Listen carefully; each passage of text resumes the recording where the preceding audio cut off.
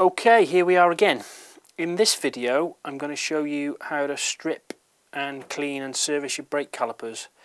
Now, I must stress from the outset that this is not something you should be attempting if you've not got any mechanical experience. This is something for the slightly more advanced DIY mechanic. Um, so, here we go. Brake caliper. First thing you need to do is remove said brake caliper. Most bikes, the calipers are held on with two bolts. Um, sometimes they're like this and sometimes they're radial calipers which means the bolts go in from the top here. But in this case they're on the side. So we'll undo these bolts remove the caliper. Okay we slide the caliper off. First thing to look at is how worn out the brake pads are. In this case there's loads on them because the bike's only done five six thousand mile. If you see the little groove in the pad material for dispersing the water. When the pad material wears down to, to that level, it's fair to say that they're ready to be replaced, perhaps a little bit before that even. You don't want to risk the pad wearing out to the metal backing and uh, having it come into contact with the disc because that would absolutely ruin the disc. Okay, next thing to do is to strip the caliper. Okay, first thing to do is to remove the little R-clip that holds in the retaining pin for the pads with this little pick. Okay, we're going to remove the brake pad retaining pin, like so. Lay everything out neatly. And then the pads in this caliper, they come out like this and then they slide off that pin. So that's one. And then that's the other, like so. Okay, underneath the pads is a little anti-squeal shim. Sometimes they can be a bit tricky to get out, but if you get a, a pick and get underneath one edge, prise it out so it comes out like so. Um, with this caliper, um, it's not an opposed piston caliper. The pistons are just on one side. Some calipers have two or three pistons on one side or, and two and three on the other. So that would be a, this is a two pot caliper. Um, if it was a four pot it would have two other pistons on the other side and if it was a six pot there'd be three on each side. So this type of caliper is a little bit more complicated than a four or a six pot because it's got this sliding mechanism here. So what we do is pull those gaiters back, slide this out. Um, this is in good nick because the bike's done very few miles but often it's the case that these are all dry and corroded and need to be cleaned and greased. Um, let's drop the caliper away for one second there's also another little piece here that comes off and that's just a little seat for one of the brake pads so that comes off as well. Put that to one side down there and then the other bits of the caliper that need to be removed there's a little um, rubber gaiter here that needs to come off and then there's this piece here which is a it's what the, one of the pins of the caliper slides in. The way to get this out is if you stretch it like so and then it'll pull through. So we remove that as well. Okay and that's everything apart now ready to be cleaned. Okay so just using commercially available brake cleaner in a little pot. Um, give all the components of the caliper a good wash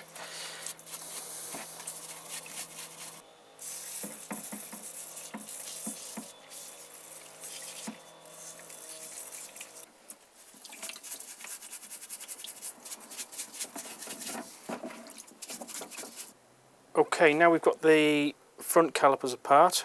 We'll take the rear one apart, which is ever so slightly different, but pretty much the same thing. Um, if we have a look over here, the brake pad retaining pin has a, um, a little blanking plug in it, which in this case has come out quite easily. Sometimes they can be a bit of a pig and you need to use an impact driver. But you remove that, and then there's an Allen bolt Allen head rather on the end of the um, brake pad retaining pin. Always undo this before you take the caliper off because you'll never be able to hold the caliper hard enough in your hand to be able to undo this pin. So what we do is we undo that pin all the way and then we'll undo the retaining bolts for the caliper.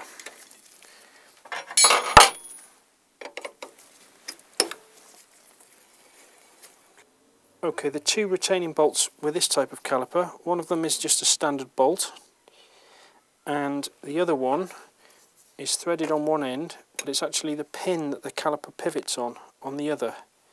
So we remove those two, and we slide the caliper up, off and away to reveal the pads and everything. Loads of meat on the pads again like with the front.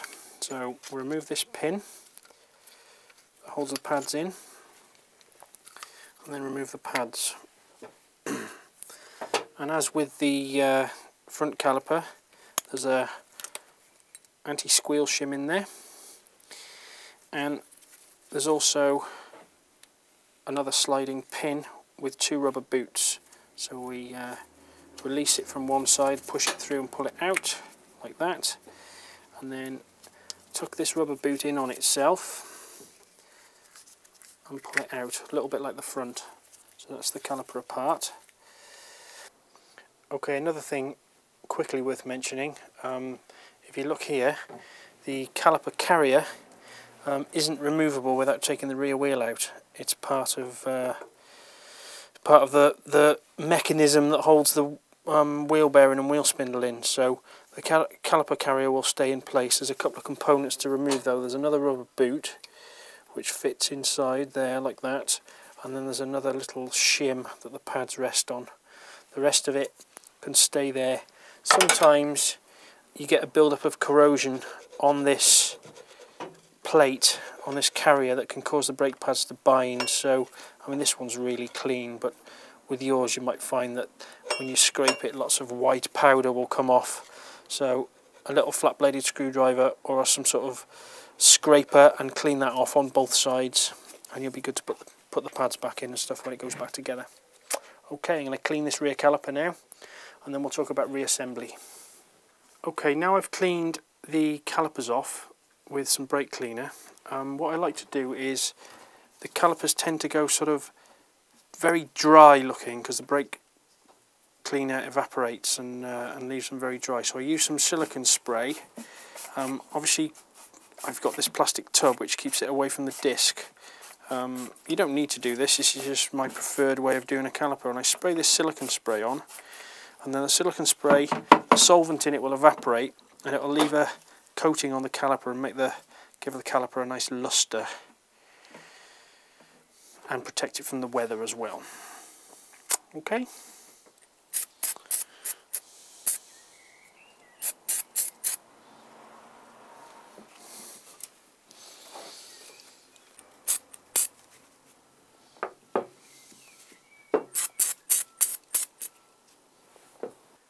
Right then, the calipers are all washed down now and cleaned and covered in silicone spray.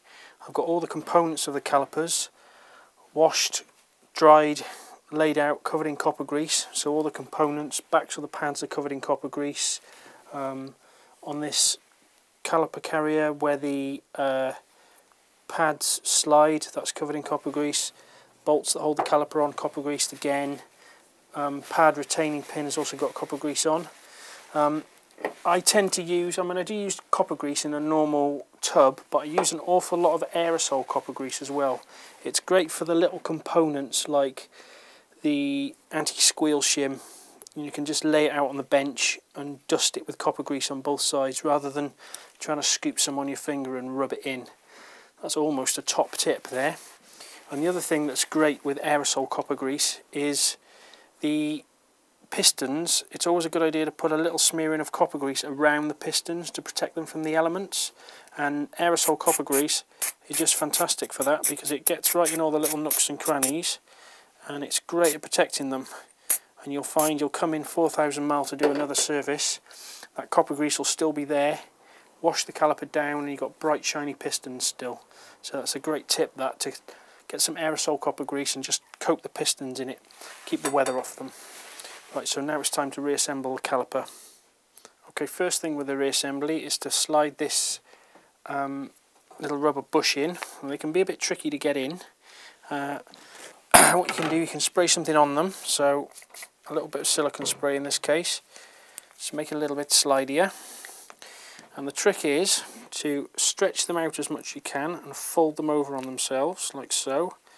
And then the hole in the caliper once you get them started, you can then twist it and feed it through into the caliper body, like so. And then once you've got enough of it in, you can get hold of the other side and pull it through. Simple as that. Then we've got the other rubber grommet here, the little gaiter which goes on there, like so.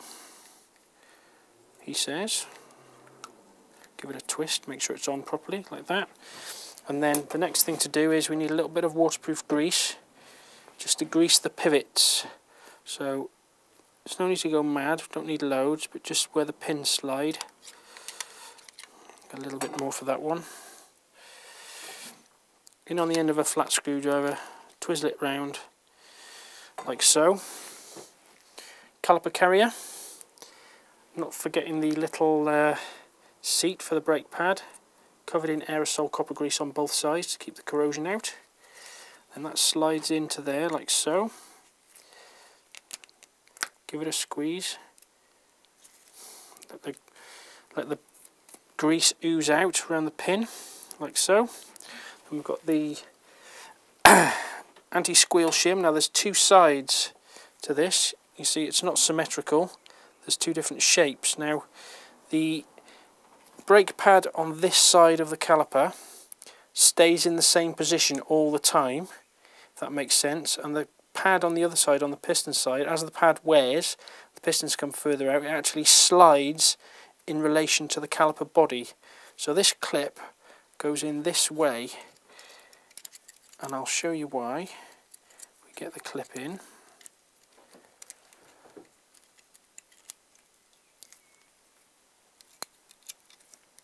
Like so.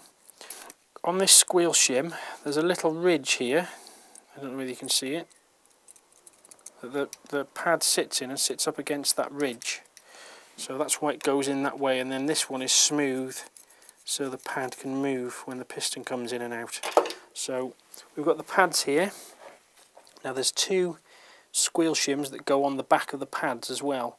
And I always like to put copper grease between, sort of sandwich the copper grease in. So take them apart and clean them. Copper grease on the back of the pads. So when the squeal shim goes on, there's a sandwich of copper grease between the, the shim and the pad. Okay, slide the first brake pad in, like so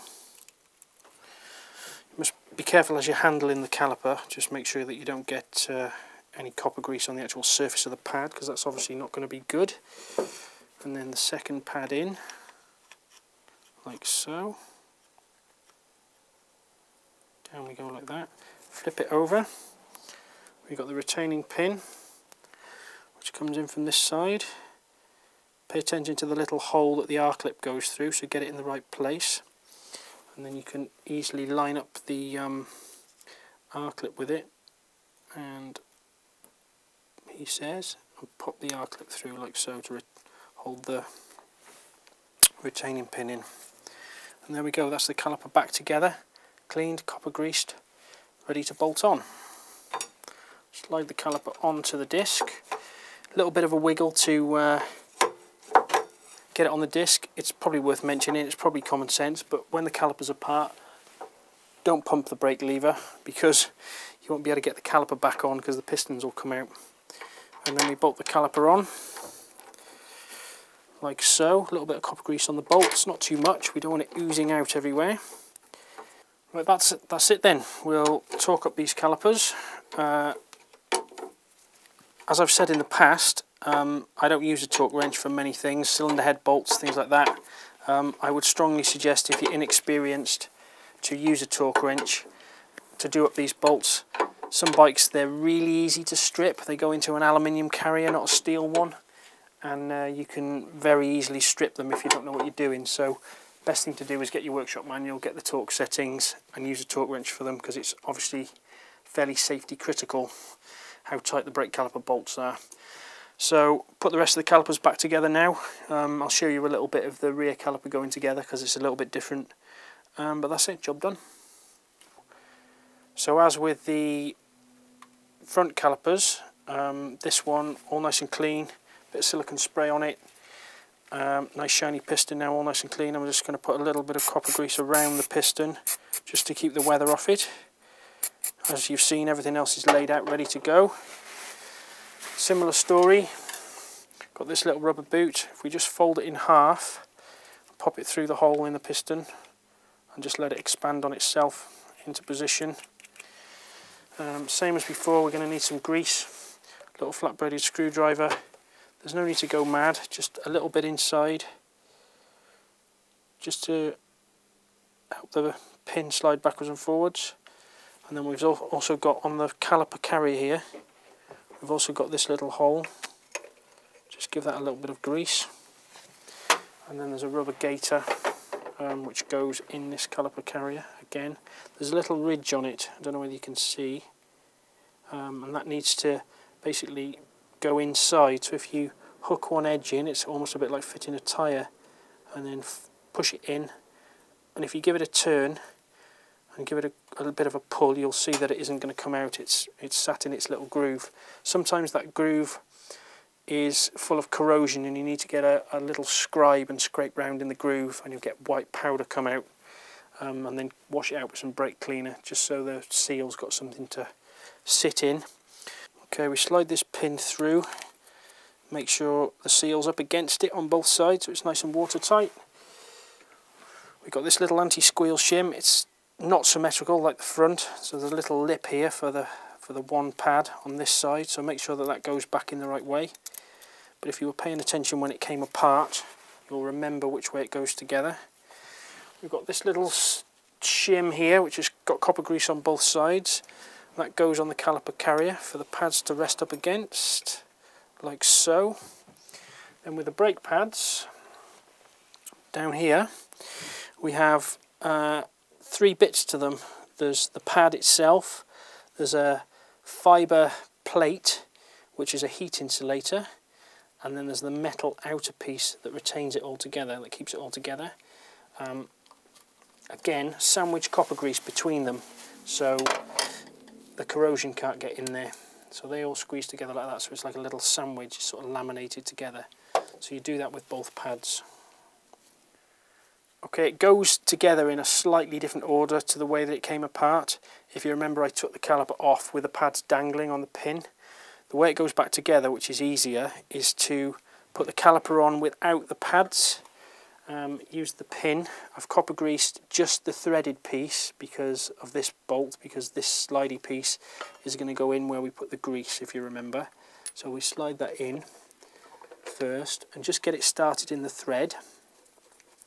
Now what we do is we get the brake pad and we lift the caliper up, hinge the caliper up slightly and just let the pad drop in to the caliper carrier and uh, it's probably difficult to see on camera but you can look through a little gap here and you can see that the pad is retained properly up against that little plate we put in.